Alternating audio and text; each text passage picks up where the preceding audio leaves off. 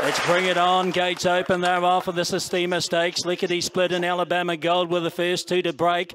Right there also Dynastics going to trail the leader Alabama Gold who cut away to lead by two. Moving forward out wider as I Choose You just caught three wide early doors as he immediately takes a steadier on the leader. Back in behind them next then was uh, Sacred Satano followed round by Maven Bell. She got back second last from her wide draw and two and a half Desert Lightning is last. 700 metres to go in the Group 1 Sistema Stakes. Alabama Gold the leader leads by three quarters from Lickety Split. Race favourite Dynastic gets the box seat run on the inside of I Choose You.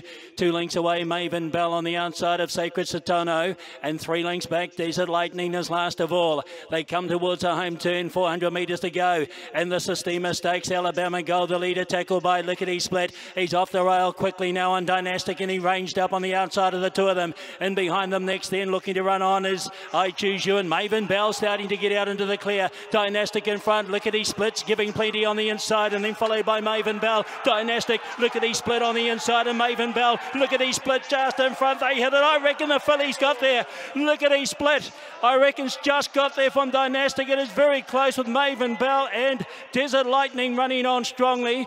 And behind them, then I choose you with Alabama Gold and Sacred Satano. Let's have a look at this. I reckon she's got there lickety split at start number two.